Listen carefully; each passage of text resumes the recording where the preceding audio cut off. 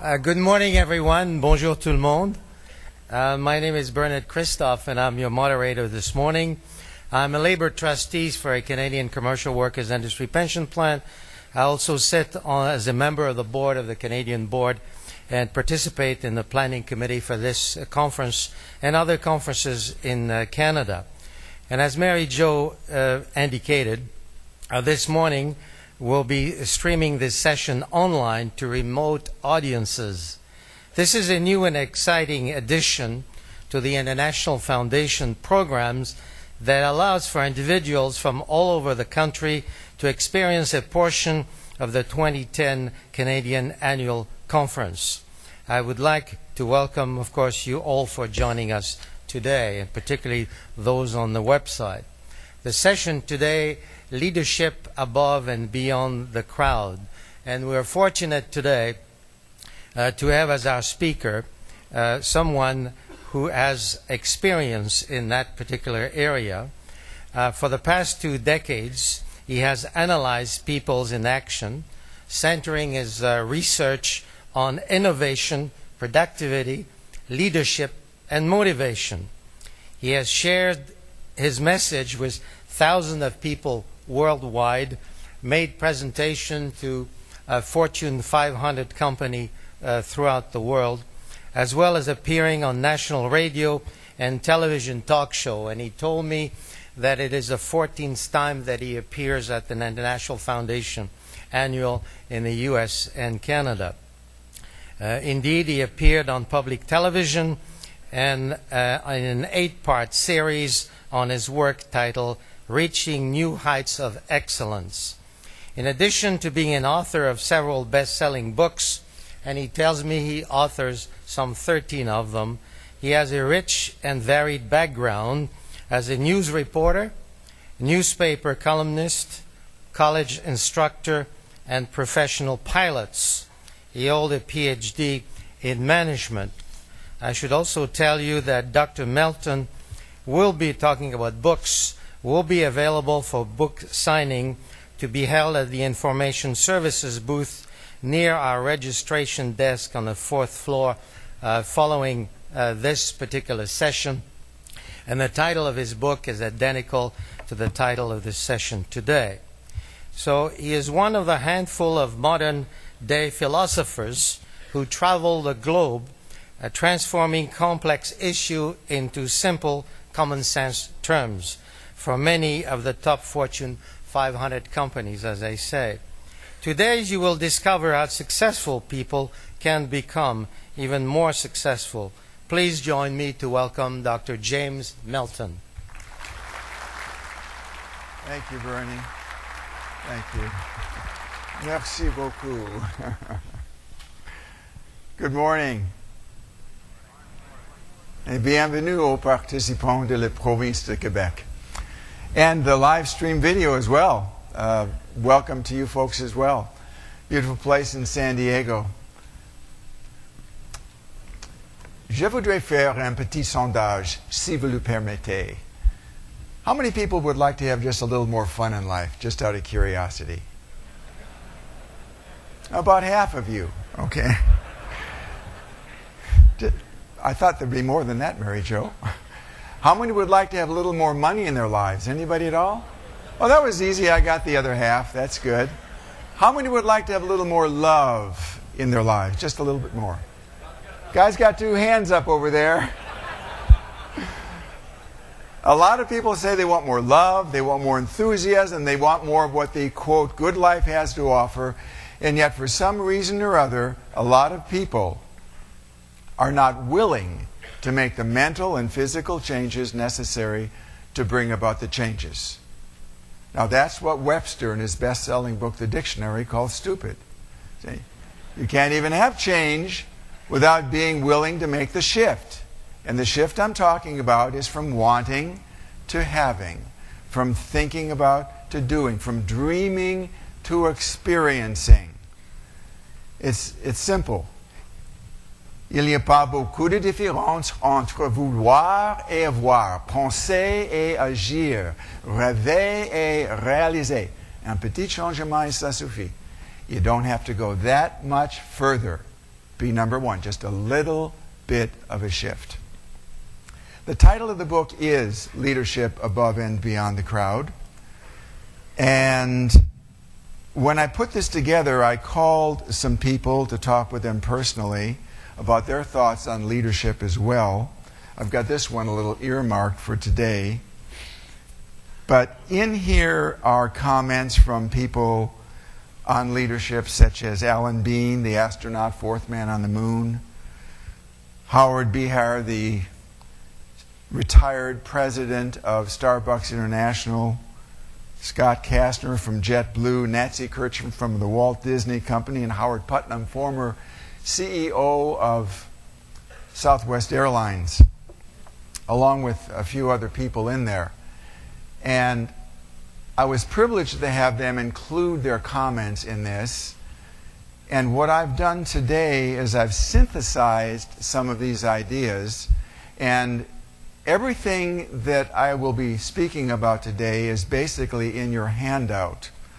So it's an abbreviated version, of course.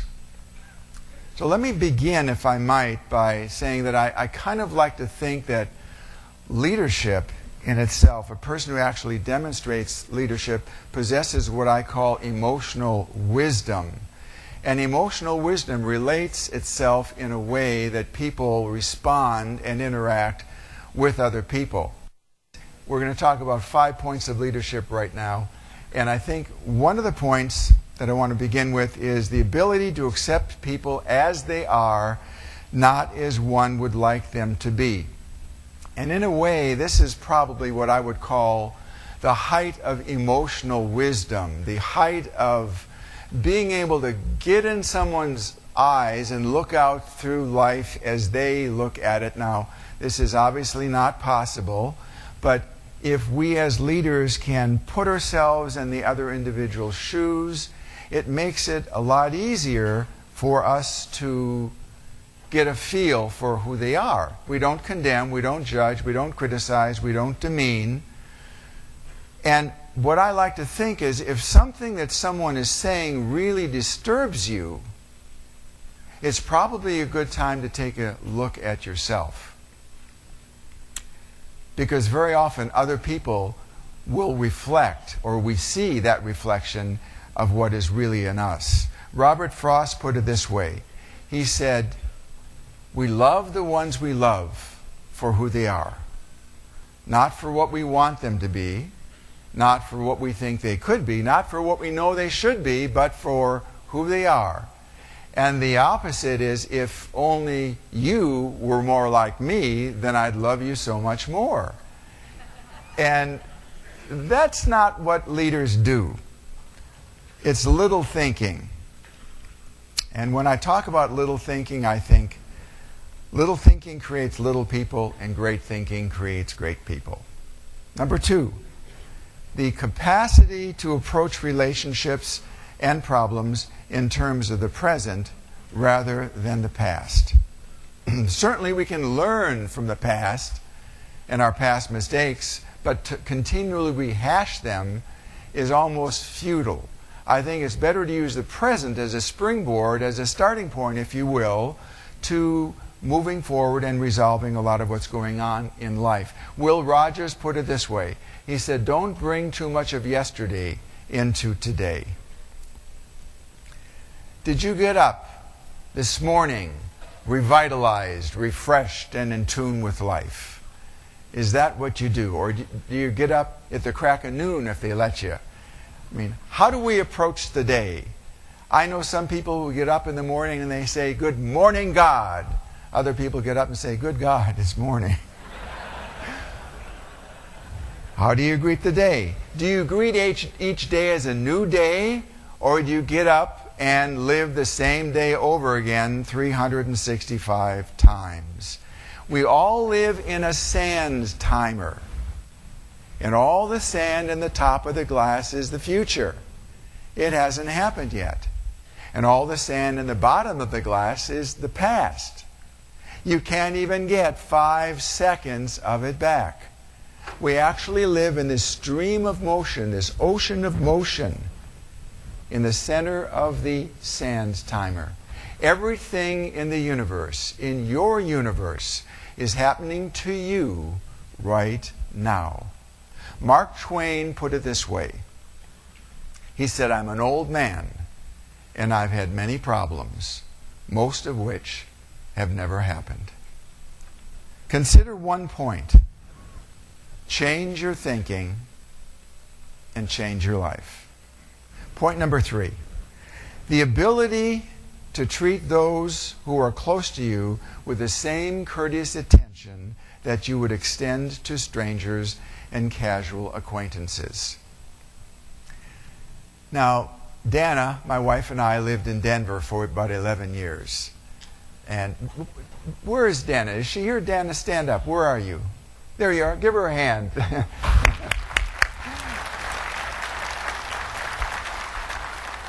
She's the woman who makes my life the spectacular adventure that it is.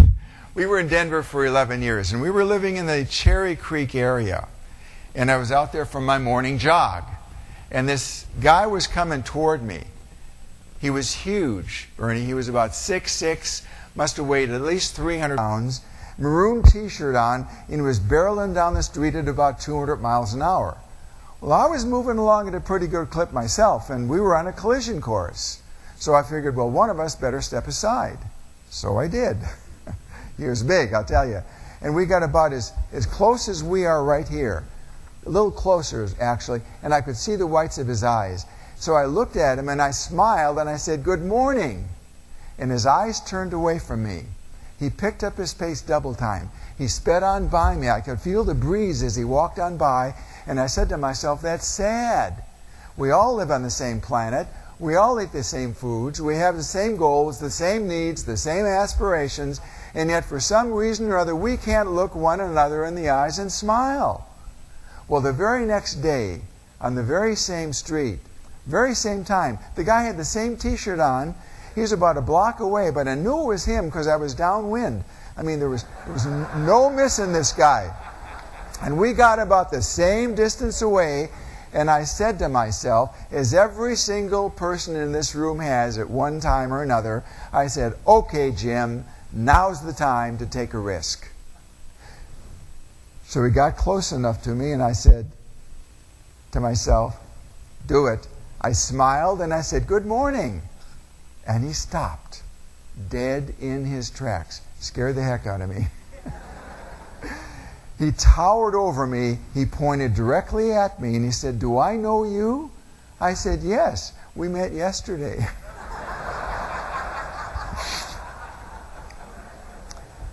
it's happened to all of us. We're in the restaurant. 15 minutes goes by and we still don't have our water or our menu. And we get a little ticked off and we say, Hey, come on over here. I'm a busy person. I've got places to go, things to do, people to see. Can't you hurry it up just a little bit for me? Or you're in the bank on a Friday afternoon or outside of the bank in the line. The line's so long you can't get in there because the teller's having trouble making money or something. Finally, you get in there and you get up there and you, you, get, you have a little few words with the teller and say, Come on, hurry it up. I'm important. I've got things to do here. I can't stand around waiting for you to get this put together. And the very next day, this person with whom you were a little bit short with, a little bit curt with, possibly bordering on abusive, walks into your church, walks into your place of business, walks into your travel agency.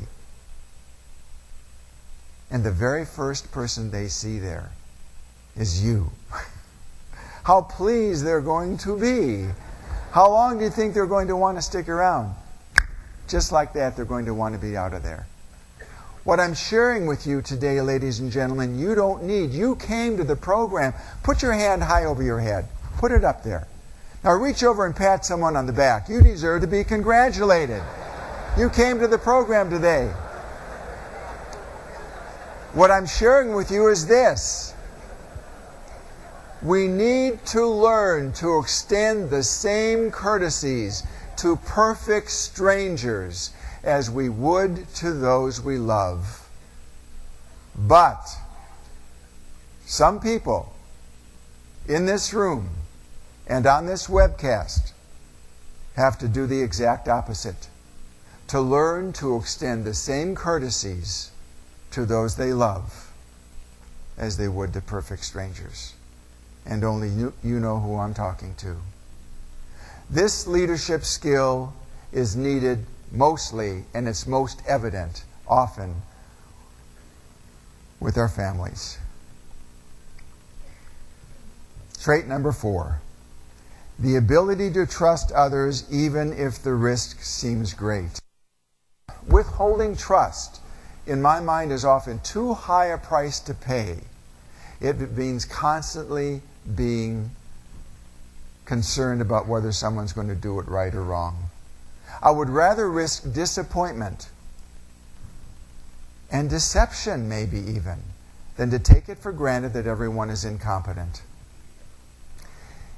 And here's an example of how people teach others how trustworthy they are. Trust and ethics have, a, have an interaction, and it's sometimes misconstrued to a degree, but trust and ethics. It's about a, a, a man and his son who go to the, the bank, and the father's going to cash the check.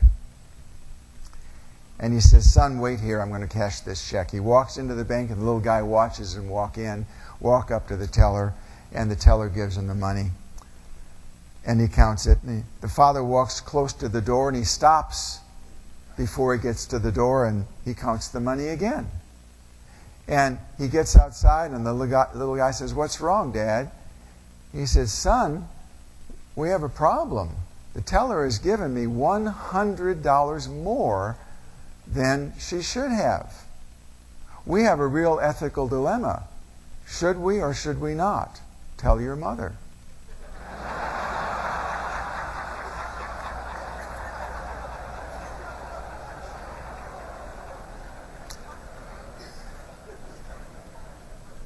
You see, in leadership, to get power, you give power. To get trust, you give trust. We're teaching people all the time what kind of a person we are. And finally, number five, and then we'll get into the techniques. The ability to do without constant approval and recognition from others. Particularly in a work situation, this can be devastating and it can even be counterproductive. Leadership, by its very nature, is risky and you're never going to pull out full, full approval. It just doesn't happen. How do you get to know what kind of a person other people are? Do you really have to know them? Probably not. But you can tell a lot about people. In a moment, I'm going to talk about lifting our senses to another level of leadership. But let, us just take an example. If I had someone here on the stage and he was in a casket and he was dead, you, you, you never met this guy before, you have no idea what kind of a guy he was. Or you're at the funeral. You don't know this person, but you're at the funeral. It's like the Harold and Maude where they go to funerals. Remember that movie? How would you get to know what kind of a person he was? This is called audience response. How would you get to know what? Right, right, right, get to know their friends, right? The people who came to the funeral. By the, by the way, the number of people who will attend your funeral will largely be determined by the weather. So you want to schedule that date very, very carefully. Corporate executives don't hang out with bums. Students on the honor roll don't hang out with school dropouts. Top producers don't hang out with coffee clutchers. We tend to draw into our circle of friends those people who think like we do. I'm pleased as all get out when I draw into my circle of friends those people who think, because most people don't. Ken McFarland, the late great American educator, said if most people said what they were thinking, they'd be speechless.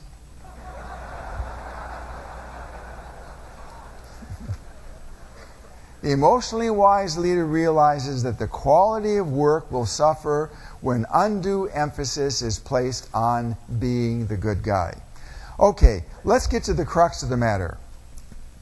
What can we do to move into or enhance our leadership position?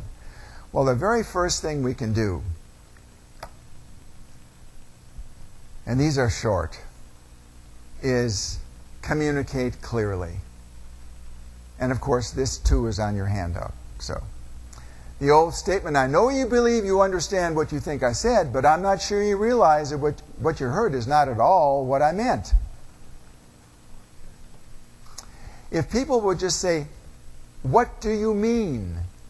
These four words would go a long way to clear up a myriad of misunderstandings. Words like boss, manager, male, female, even less controversial terms like do a good job, do it quickly. What's a good job for one person is not necessarily a good job for someone else. So we're talking about interpretation. Words are only expressions of how we feel. Dana says, I'll be with you in a jiffy. How long's a jiffy? I mean, I've learned how long a jiffy is. I say to her, I'll be back in a little bit. Could be a day. I mean, we're talking about interpretation. Lee Iacocca, in his uh, work, he talks about this. Let me just find this little page here on Lee Iacocca. Here it is. If I had to sum up the word, in one word, the qualities that make a good leader or manager, I'd say it all comes down to being decisive. I think that's important. Be decisive. As a matter of fact, and you can take issue with me on this if you want to, I feel it's more important to be decisive than it is to be right. Now, this is a breach of logic which has existed for leaders throughout history. You know people who are good decision makers who are not necessarily good leaders, but I'll bet you any money you do not know a good leader who is not a good decision maker. I would like to um, demonstrate this if I might, and I need um, I need a volunteer. Thank you. Would you mind coming up here? This yeah, the, the, would, come come on up here. No, no, this this lovely lady smiling right there. This lovely lady. I'm going to this lovely. I know she thought she was going to get away with it because this kind gentleman rose to the occasion. but this, let's give her a hand. Come on up here.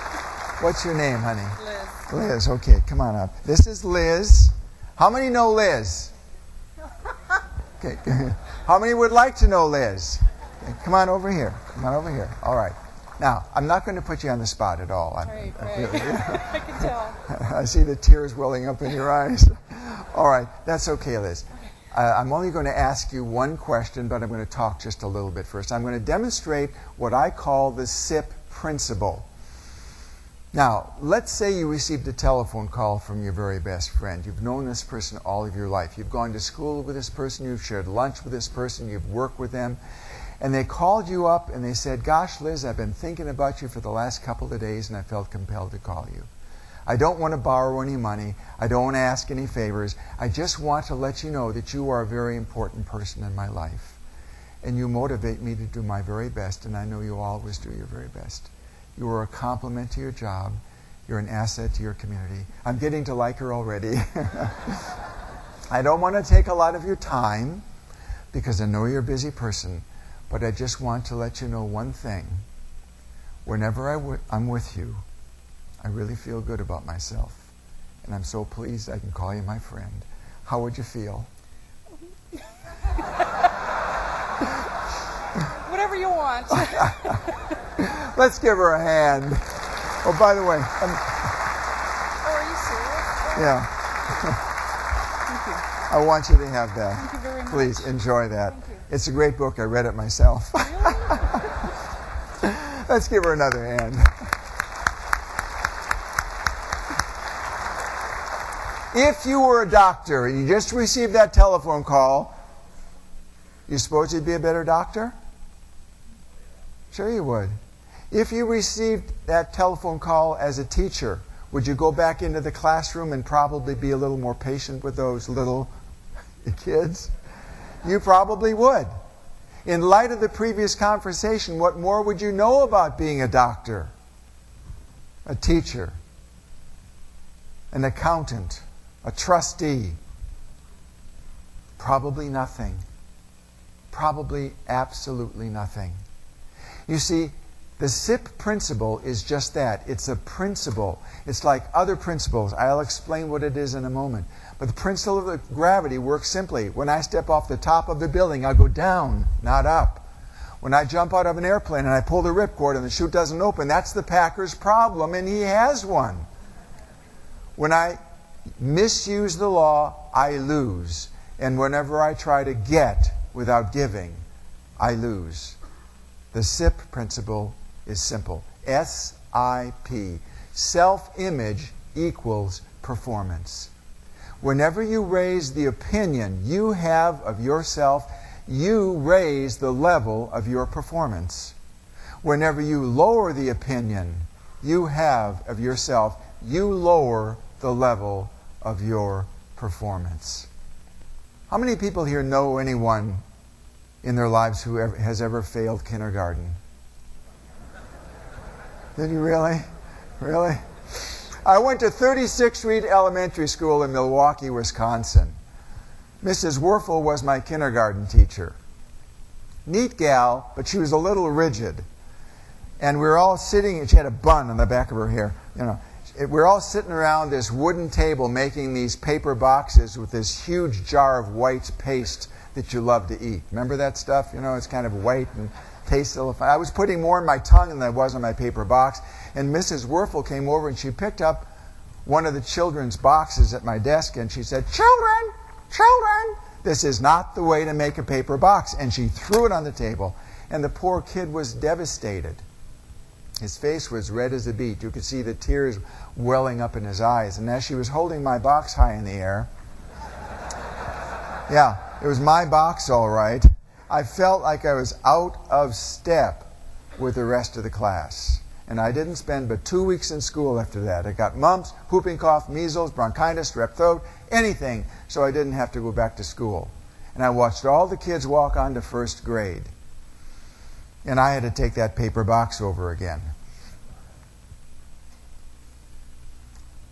I took special reading classes all during elementary school because I was taught that I was a slow reader. I took special reading classes all during high school because I was taught that I was a slow reader. And I bought into it hook, line, and sinker.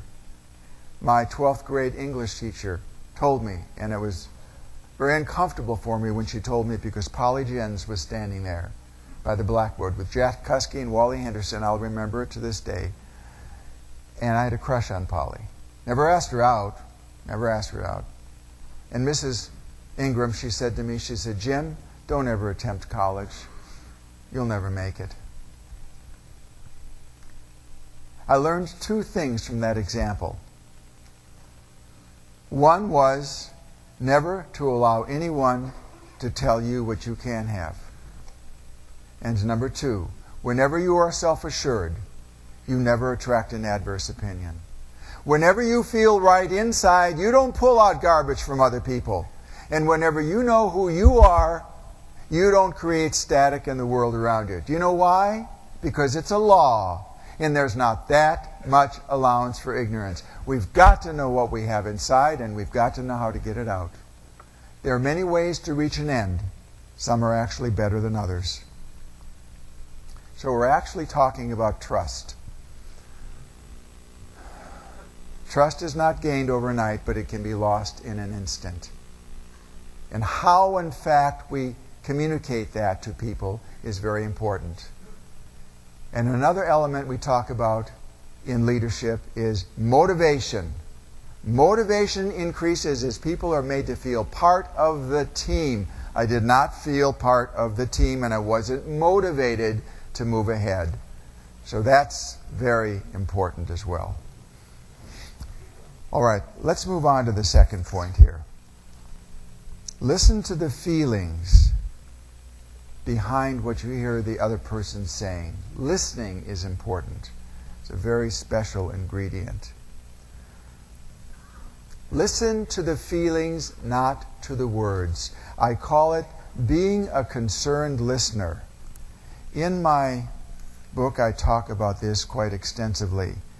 And it says, if you truly desire to excel, being 100% present is essential. I've lost all of you five times since I've been talking, 50 times, 150 times, whatever. You've been home. You've been thinking about the talk last night. You've been wondering what's going to happen at the break, what's going to happen this evening, where you're going to dinner. Am I right? It happens. I'm not asking you to rivet your mind on what I'm saying, but I will say this. When you, as a leader, are speaking to someone, be there. Be there and be 100% present. Can you tell when you have someone's attention?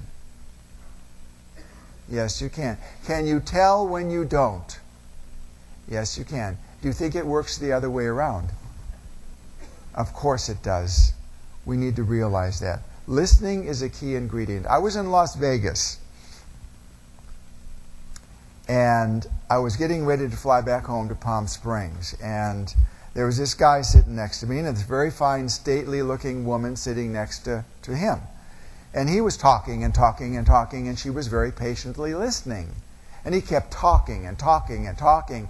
And she asked, she said three magic words. She said, Tell me more. And he did. He kept talking and talking and talking. And at the end of eight minutes, I lost track of the word I he used after 58. And she had only used the word I twice. Fascinating. Then he got up and he went to talk to the flight attendant before he got on the plane. And he said, I just met the most interesting conversationalist. Never realizing he was doing all of the talking.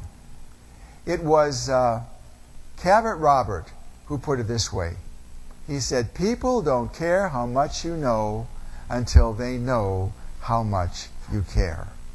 When someone asks you what you do for a living, what do they want you to ask them?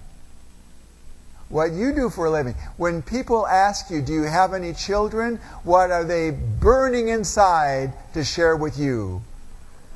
To talk about their children. People don't care how much you know until they know how much you care. All right. The third ingredient here observe with your senses. We only see with our eyes, but we observe with our senses. This is the height of leadership, I believe, when you can sense other people. Remember what I talked about earlier the ability to sense other people and pay attention to your feelings along the way. And we are all rather predictable. So if you learn to read people effectively, you can read the innermost feelings that they have. Now, just for a moment, if you will, take a pen or a pencil out and use the margin or the back of the paper or whatever. And I want you to write down, this is very important that you do this now. I want you to write down four words. Find a pen, find a, whatever it is. Just write down four words. I'll tell you what, the, what, what to do in here in a second. Okay, are, are you ready? You ready? I want you to write these words down without thinking. I just want you to do it just really fast. You're not going to deliberate. There's no thinking permitted here. Are you ready? I want you to write down a color. I'd like you to write down a number. I'd like you to write down a piece of furniture and write down a flower. A color, a number, a piece of furniture, and a flower. Now, if you're still writing, you're thinking, and that's not permissible. But I'd like you to look up at the screen, if you will, please. How many have one or more of those items on their paper? Raise your hand. Look around you, please. How many have two or more? Interesting. Almost half the room. How many have three or more? How many have all four? Fascinating. Okay, all right. I can tell you this. If it's not red, it's probably a primary color. If it's not seven, it's probably a single digit figure. If it's not chair, it's probably a sofa, a couch, a, cha- uh, a table or some common piece of furniture, and I can bet you a donut to a rye crisp, it is not a yellow double bluing hibiscus. what we're talking about is predictability. And it says to me, and it ought to say to you, that I know a lot more about you than you think I do. And it ought to say to you that you, as leaders, need to know a lot more about the other individual than they think you do. Not to get one up on them, but to just be aware. All right. Our second to last point speak confidently and decisively. Very important. Say what you want, not what you don't want. Focus on the solution, not on the problem. I always say when you enter into a group, if you are a leader and the group comments are spiraling down, you either need to lift it or leave it. If you're not creative enough to lift the conversation, then you need to spark up your leadership skills a little bit and get gossip out of your vocabulary, get it out of your style. It's hard to get things straight firsthand, let alone listen to second and third hand garbled rumors. That's not on the leader's agenda. We're going to talk about in this next area on speaking about word magic. Words are only feelings. You've heard me say that before. Word magic. I've created an entire sheet in your handout on word magic. You don't have to look at it now, but I'd like you to look at it later on. Nous utilisons des mots pour communiquer, mais souvent ils sont insuffisants. Words are very often insufficient for what we want to say. I'll give you an example here. An article from the York, Nebraska Police Department on how people tried to explain their automobile accidents in 30 words or less. The guy was all over the road. I had to swerve a number of times before I hit him. Was he aiming? the telephone pole was approaching fast. I was attempting to swerve out of its path when it struck my front end. I pulled away from the side of the road, glanced at my mother in law, and headed over the embankment. the, the pedestrian had no idea which way to go. So I ran over him. was there a choice? I'm not sure. I was on my way to the doctor with rear end trouble when my universal joint gave way, causing me to have an accident. not at all what these people wanted to say, but it is what was recorded in the listeners' minds. Now, I want to ask you, ladies and gentlemen, what messages are being recorded in your listeners' minds when you walk through their doors? What are you saying to these people? All right, let me take a quick look here on body language. In my book, I talk about when you feel confident about yourself, it will be expressed in everything about you in the outer world. I think it was Walt Disney who put it this way. He said, When you know the magic, you will always have a place in the kingdom. And what I'm about to share with you will form the fabric of your future. It's very simple. When you change the things you say about the things you do, you will change your experience. When you change the things you say about those with whom you associate, you will change your relationships. Dana and I were in Portland, Oregon a while back. And this is a little scenario that, that taught me to say yes to life. And I've learned that you can always say no. Say yes. Always, you can always say no. We were getting the grand tour of Portland, Oregon. Are you familiar with Portland, Oregon? Anybody at all? Anybody? Okay. It's a city of bridges, a lot of bridges in Portland. And we were, we were going over the bridge, under the bridge, over the bridge, under the bridge. It was a, it was a three hour tour of Portland. We were on the off ramp, off the on ramp, on the off ramp. Off, I, I mean, the woman was trying to take us over the bridge going the other way, but it was a one way bridge. She couldn't do it. We were on, off, on, off. Finally, we got in the downtown area at 9th and Yamhill. And the Guild Theater was there, and The Day the Earth Stood Still was playing. Classic 1951 science fiction film with Michael Rennie, Patricia Neal, and Gort. How many have seen The Day the Earth Stood Still? Classic film. I said to Dan, Il faut que tu vois ce film. It's a classic. You've got to see the film.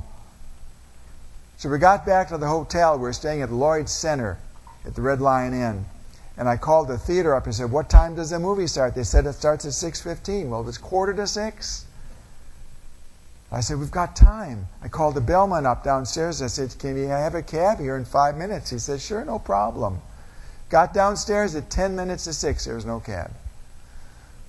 Five minutes to 6, no cab. Six o'clock, no cab. Five after six, I was getting a little concerned because the flying saucer lands in the beginning of the movie. You've got to be there at the beginning. It sets the whole tone. Well, just then this Bentley automobile pulled up. Chocolate brown in color. It was gorgeous. The chauffeur got out of the vehicle. He walked around and he opened the door for these two lovely couples. The women were literally dripping in elegant white garments, and they strolled on into the hotel like this. you know how they walked. Anyway, I said to Dana, there's our cab.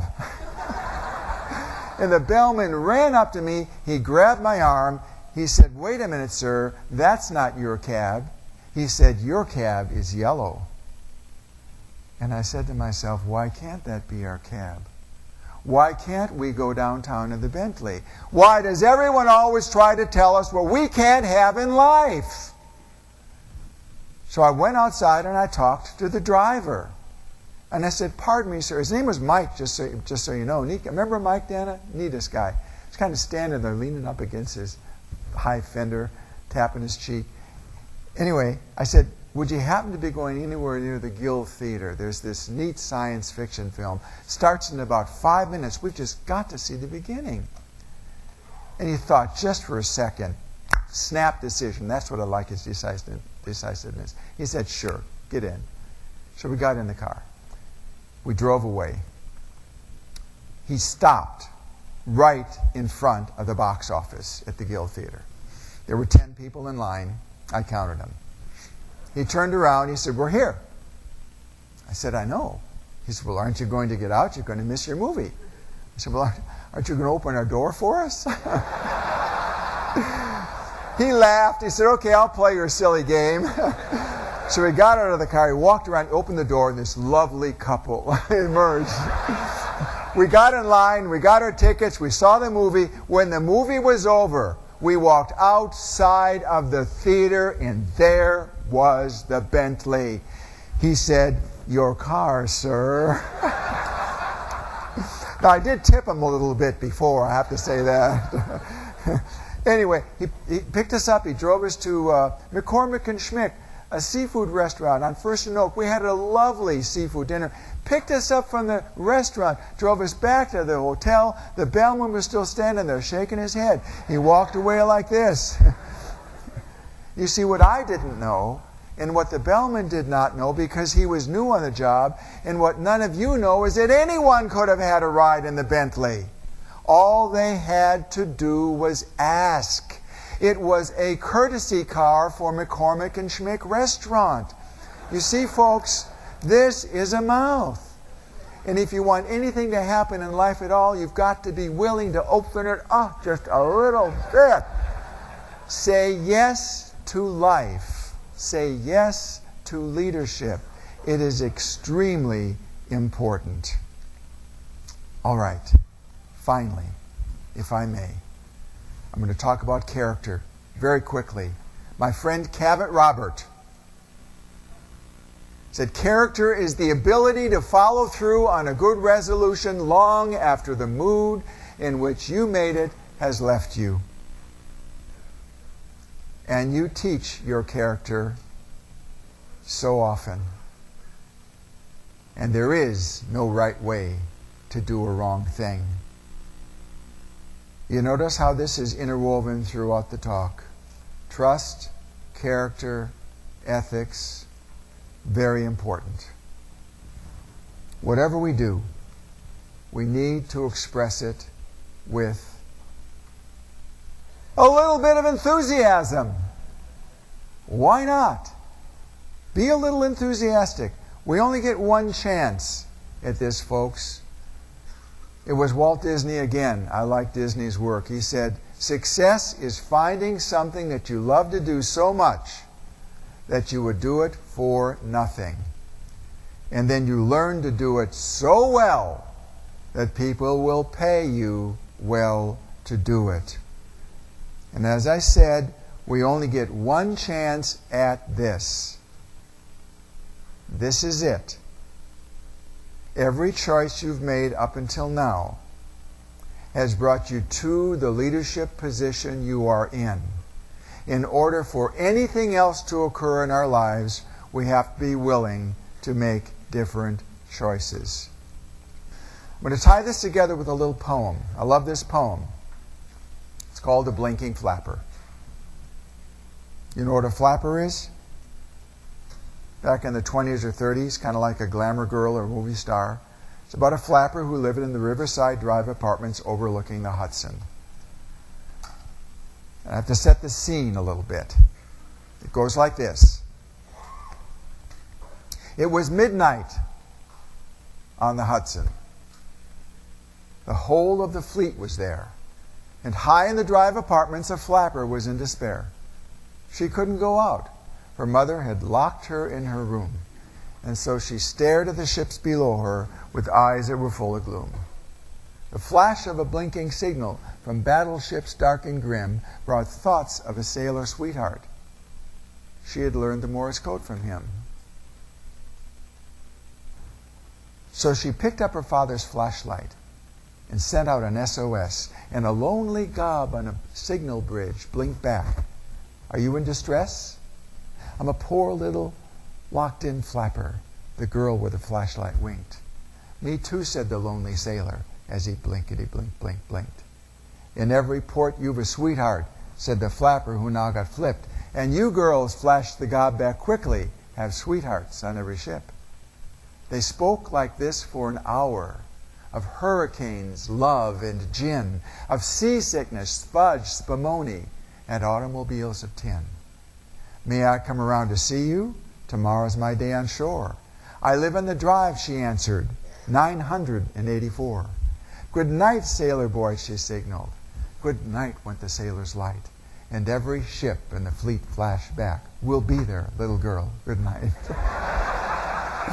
it says to me that some people are looking for one thing and other people are looking for something else. But I want to guarantee you something. Before you walk out of those portals today, what you are looking for is looking for you. All we need to do is open up our eyes and find the very best path of accomplishment we can to achieve our dreams and desires. Enjoy the process of leadership. Enjoy moving from the present to the future and enjoy your traveling to leadership above and beyond the crowd. I thank you for your kind attention et je vous remercie de votre aimable attention.